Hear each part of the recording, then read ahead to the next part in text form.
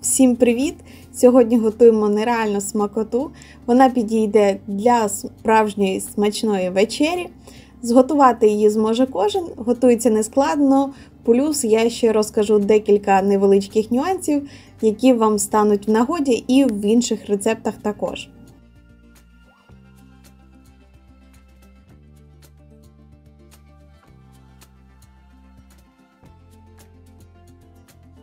Для тіста просіємо борошно в миску потрібного розміру. Зразу сюди додаємо сіль і одне яйце. Потім будемо додавати водичку. Водичка тепленька, градусів до 50 приблизно.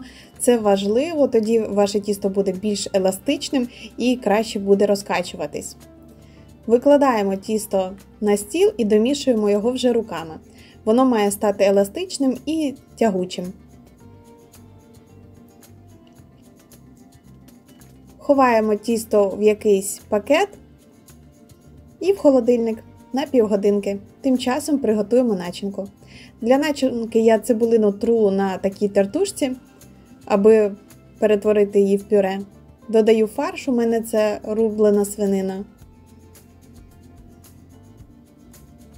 Звісно, сіль, перець за смаком і трошки чесничку. Можна свіжого потерти, можна сухого досипати. Перемішуємо і начинка в нас готова.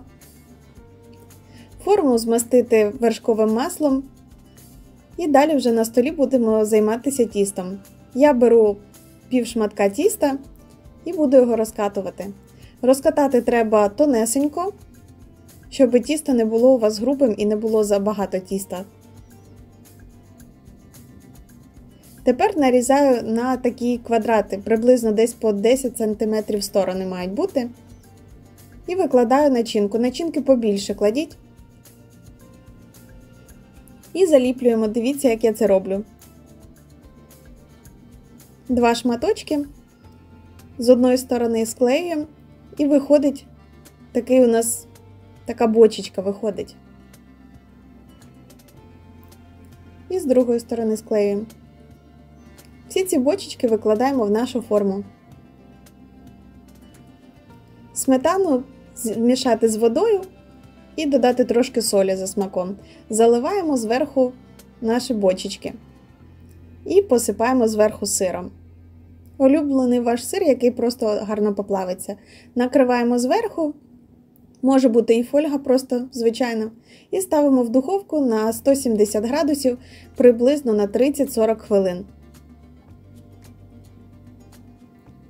Ще досі булькає. І ось така краса у нас з вами виходить. Вони, коли тепленькі, вони прекрасно роз'єднуються.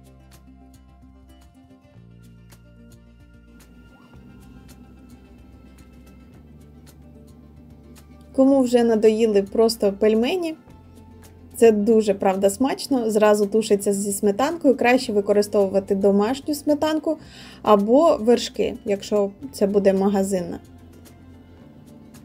Це правда дуже смачно, обов'язково спробуйте приготувати. А з вами, як завжди, був кекс, друзі.